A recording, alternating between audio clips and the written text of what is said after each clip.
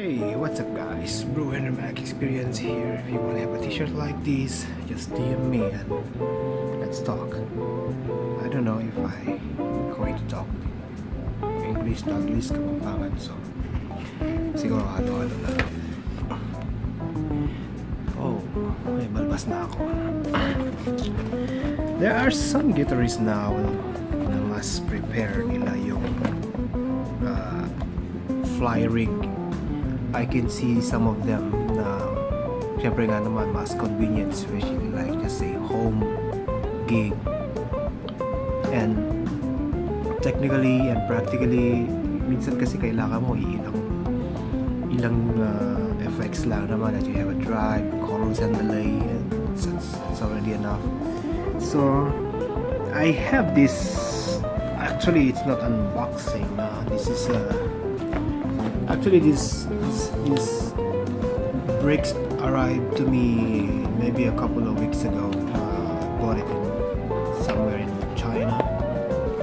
Because I know this is a Chinese model Alton Mini. Meron actually na mahaba yata nito uh, uh, that was a 5 uh, buttons. So ito siya. It has a actually it's tiny. It's a brick tapos meron siyang power adapter kita mo naman. And I think I just got it for $100 so 370 uh, something 7 to 600 real something like that. And then uh, tinry ko siya. Okay naman siya. Kasi I'm actually looking for a distortion or just a drive that hindi ganun ka-metal at mabangis. And I'm I want to start a I want to start a pedal like uh, or mag-assemble ako ng fly rig para before I want to uh, mag-umpisa bago ako mag-umpisa on some expensive uh, fly rig like uh, you know Sense Amtech 21 like RK5 o yung mga bagong mga Tech 21 fly rig. Eh tignan ko muna dito sa mga cheaper one. eh actually ang gusto ko kasi makita is the density and yung gaano, kung gaano ba talaga sila kalalaki. Kasi I heard na halos ganito lang naman talaga yung mga maliliit na fly rig but kahit na yung mga mamahalin pa na like 21 so let's try it. Pa-plug ko lang siya. That's the guy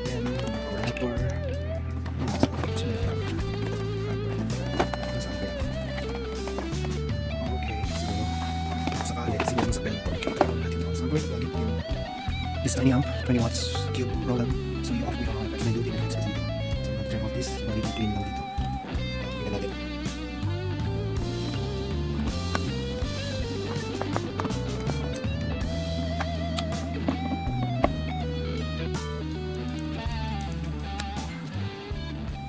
guys naka-plug na tayo ang setup. So bali I'm going to use uh, this uh, LTD TE200 uh, one of my old uh, guitar. Um, 24 telly uh, actually nagkaroon na ako ng upgrade. Uh, I put a 2 low output Wilkinson uh, pickup. Kasi yung stock pickup niya eh, medyo uh, medyo metal. So kasi ganun nga LTD are bound for metal. So medyo gusto ko lang yung dirt sound. So testing natin. Testingin natin yung ganyang delay. So ito yung dry sound. Kita nyo. So walang repeat. Uh, konti lang. Hindi uh, kasi naman ako masyado ma-delay. Yun. So parang 2 to yun. Nasa ganun lang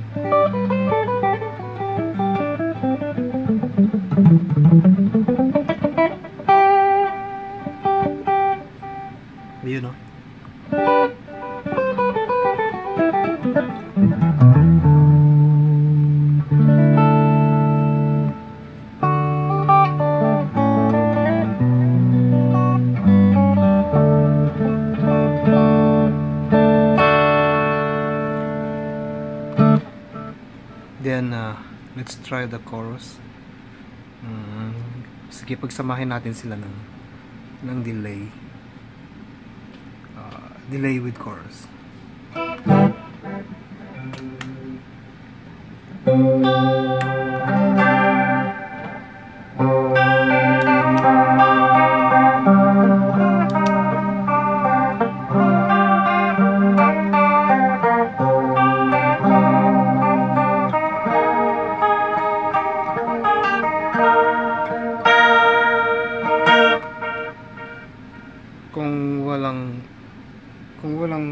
Delay chorus lang.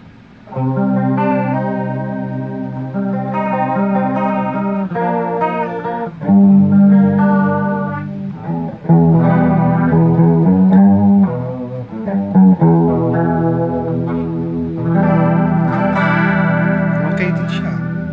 Sa liit niya na to. And then uh, let's try the the drive na walang delay, walang chorus. So doon muna tayo sa OD lastas natin ang level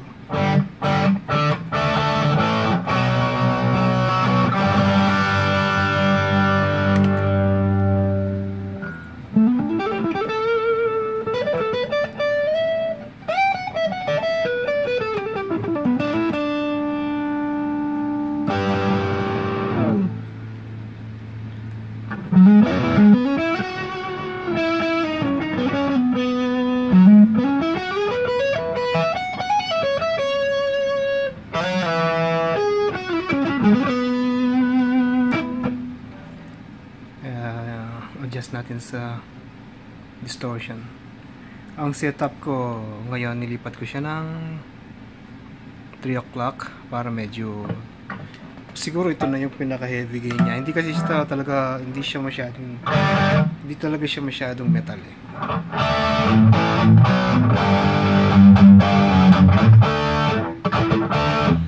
And kung lagyan natin siya ng delay baka um, magkaroon siya ng push booster? Oo nga.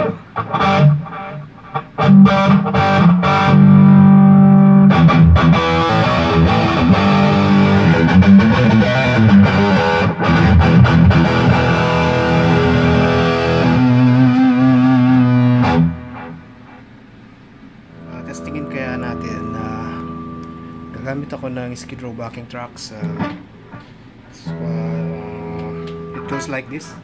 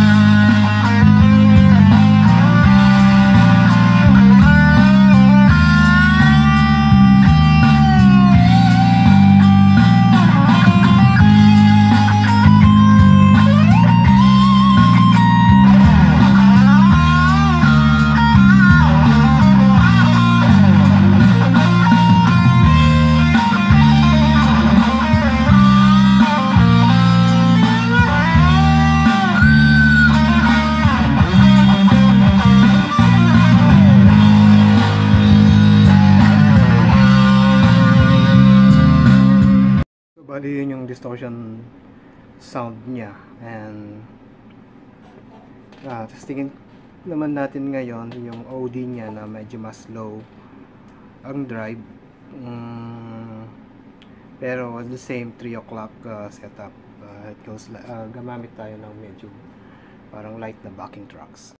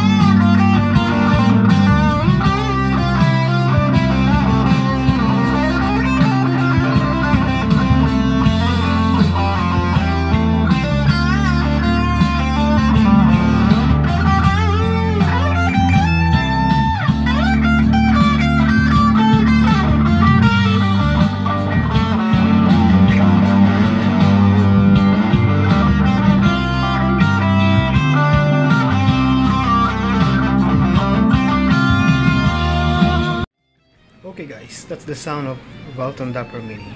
Um, comment down below on your comment and just for me okay lang siya. Um, something that is not expensive. Uh, you can use it as a substitute on Tech 21 fly rig. Um, baka pwede na rin mag-subscribe kayo dito sa channel ko para magkaroon naman ako ng tagapanood. And also, if you want this kind of shirt, I'll put the link down below uh, kung saan nyo siya kung kayo kayo pwede magpagawa or if you want like this, just uh, drop a message then uh, I'll get you one uh, for a reasonable price.